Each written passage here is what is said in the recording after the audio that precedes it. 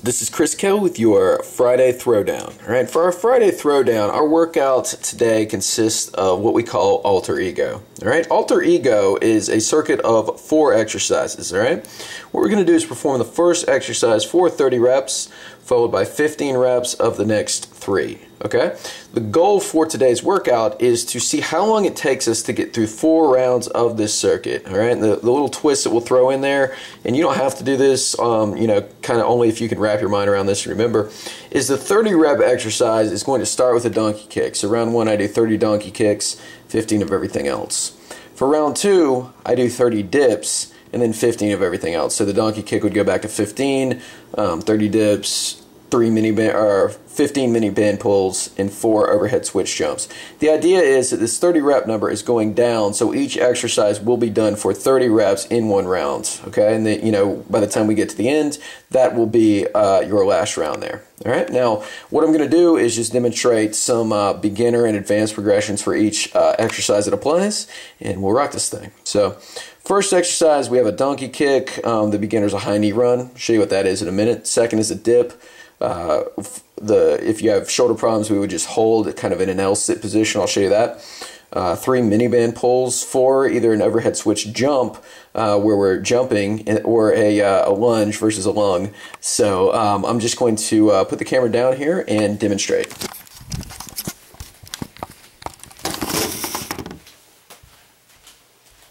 All right, for this workout, we're going to need a mini bands. Okay, I'm assuming that uh, you know I'm here in my kitchen. Um, I'm assuming that you don't have much access to equipment. Um, this is something that you can carry with you anywhere, so that's that's a good thing.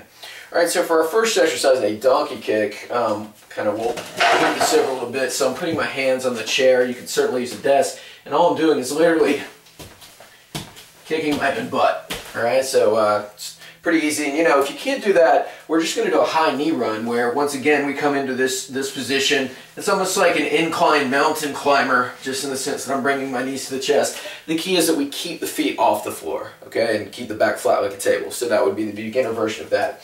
Second exercise would be a dip. With a dip, I'm thinking about pressing through the outside of my hands, dropping straight down, pausing, and coming back up.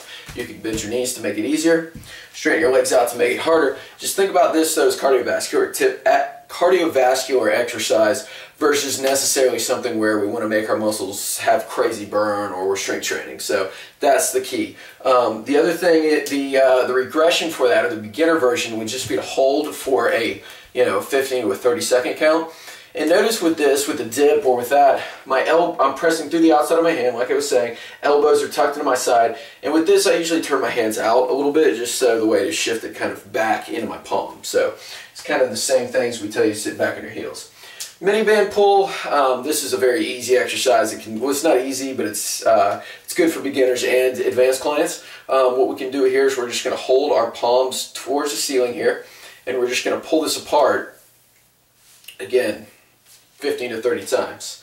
For the, over, for the overhead switch jump, okay, you're going to pull your arms above your head like this, shoulder blades squeeze down back. The mini band can be around your hands or not, okay, we're just, again, switching, okay, and again, if that's kind of stressful on the shoulders, you can also just hold in a Y position, same rules apply. Okay, now, uh, for the regression here, we have a reverse lunge, so hands above your head or on your hips, I'm just alternating, that would be one, that would be two, and the same with the switch jump. One, two, three, like that. We want to set a timer, see how long it takes you to get through that workout. Post in our forum, that's your Friday Throwdown.